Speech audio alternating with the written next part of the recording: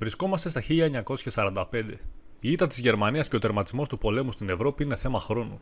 Ωστόσο, στην Ανατολή, η Ιαπωνία, σύμμαχος της Γερμανίας, εξακολουθεί να αντιστέκεται στις Ηνωμένες Πολιτείες. Μετά την κατάληψη της Ιουο Τζίμα από τους Αμερικανούς τον Μάρτιο του 1945, η Οκινάουα είναι το τελευταίο νησί πριν την υπηρετική Ιαπωνία.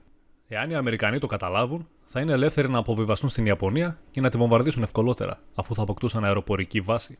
Η επιχείρηση Παγόβουνο σχεδιάστηκε την 1η Απριλίου του 1945 και προέβλεπε την αποβίβαση περίπου 60.000 στρατιωτών και πεζοναυτών της Αμερικής στο νησί. Ωστόσο, σύντομα οι Ιάπωνες θα έδειχναν ότι δεν θα άφηναν το σημαντικό αυτό νησί να πέσει έτσι εύκολα.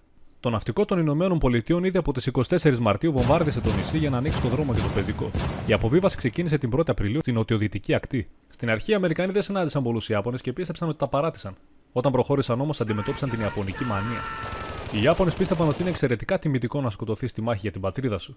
Έτσι, 34 πλοία του ναυτικού των ΗΠΑ δέχτηκαν επίθεση από 355 καμικάζι. Στις 7 Απριλίου, τα Αμερικανικά αεροσκάφη βυθίζουν το πολεμικό πλοίο Γιάματο της Ιαπωνίας, στο οποίο οι Ιάπωνες είχαν αναποθέσει τις ελπίδες τους για απόκρουση της επίθεσης των Αμερικανών. Μετά από κάποιες επιτυχίες του πεζικού, ξεκινάει η μάχη του Λεσίμα, που κράτησε 5 μέρες και έληξε με Ιαπωνική ήττα. Στις 4 Μαου, οι Ιάπωνες ξεκινούν μια νέα μεγάλη επίθεση, αλλά δεν είχε κάποιο αποτέλεσμα και μια εβδομάδα μετά, οι πεζοναύτες ξεκινούν τη δική τους επίθεση στο Sugarloaf Hill. Οι Αμερικανοί υποστηρίζονταν από το εξελιγμένο τους πυροβολικό και τα αεροπλάνα και οι Ιάπωνες χρησιμοποίησαν τις σπηλιέ του νησιού για προστασία. Σε αυτές τις σπηλιέ έγιναν πολλές αιματηρές μάχες. Οι Αμερικανοί χρησιμοποίησαν φλογοβόλα τάγκς για να τους αντιμετωπίσουν και κανονικά φλογοβόλα για να αντιμετωπίσουν τους Ιάπωνες που αντιστέκονταν στα χαρακόμματα. Μέχρι τα μέσα του Ιουνίου, οι Ιάπωνες έχασαν το Σούρι που ήταν θέση κλειδί για τις οχυρώσεις τους και ο στρατός τους άρχισε να εξαντλείται. Οι Ιάπωνες σταμάτησαν τις επιθέσεις όταν αντιλήφθηκαν ότι οι σπηλιές είχαν τελειώσει. Μέχρι τις 22 Ιουνίου, οι Αμερικανοί είχαν συντρίψει τους Ιάπωνες. Όσοι έμειναν, επέλεξαν να θυσιαστούν για τον αυτοκράτορα αντί να παραδοθούν. Η μάχη της Οκινάουα ήταν από τις πιο αιματηρές επιχειρήσεις στον Ειρηνικό.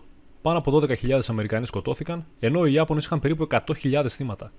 Και στρατιώτες και χιλιάδες κατοίκους που είτε εκτελέστηκαν είτε είχαν διαταχθεί από τον Ιαπωνικό στρατό να αυτοκτονήσουν για να μην πάνε με το μέρος των Αμερικανών όταν αυτοί πλησίαζαν στην περιοχή. Οι Αμερικάνοι είχαν τώρα ανοιχτό το δρόμο για την απόβαση στην υπηρετική Ιαπωνία. Όμως, όλες οι προηγούμενες εκστρατείες στα νησάκια είχαν μεγάλο κόστος σε ανθρώπινες απώλειες. Οπότε τώρα ο πρόεδρος Τρούμαν σκέφτηκε πως ήταν καλύτερη ιδέα να χρησιμοποιήσουν το νέο πανίσχυρο όπλο στην Ιαπωνία, το οποίο δεν είναι άλλο από την ατομική βόμβα. Μέχρι και σήμερα υπάρχει το ερώτημα αν ήταν σωστό να χρησιμοποιηθεί η ατομική βόμβα για να παραδοθούν άμεσα οι Ιάπωνες και να γλιτώσουν χιλιάδες ζωές στρατιωτών. Σας ευχαριστώ όλους για την παρακολούθηση. Παραμείνετε συντονισμένοι στο κανάλι για να βλέπετε τα νέα βίντεο και θα τα πούμε την επόμενη φορά.